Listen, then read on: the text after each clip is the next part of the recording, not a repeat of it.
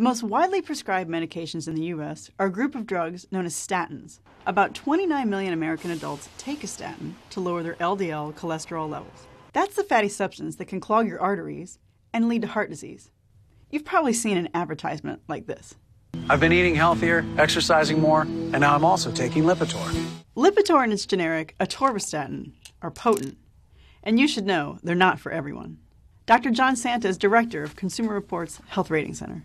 High doses of any statin can pose risks for muscle and liver problems. Most people who need a statin should take the lowest dose that reduces their LDL cholesterol to an acceptable level. So, the first question to ask your doctor is How much do I need to lower my LDL cholesterol level? 30% is an important figure to keep in mind. If you need to lower your cholesterol by less than 30%, Consumer Reports Best Buy Drugs recommends lovastatin or pravastatin, two generic drugs.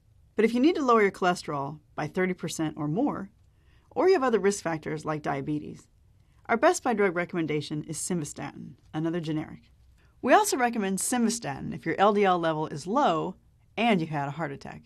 But if your LDL level is high and you've had a heart attack, Consumer Reports Best Buy Drugs does recommend Lipitor or its generic atorvastatin, but with one caution.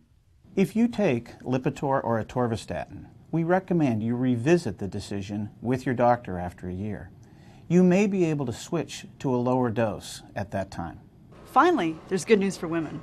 Healthy eating, exercise, and other lifestyle changes may be enough to lower your cholesterol if your risk for heart disease is already low and your cholesterol is only slightly elevated.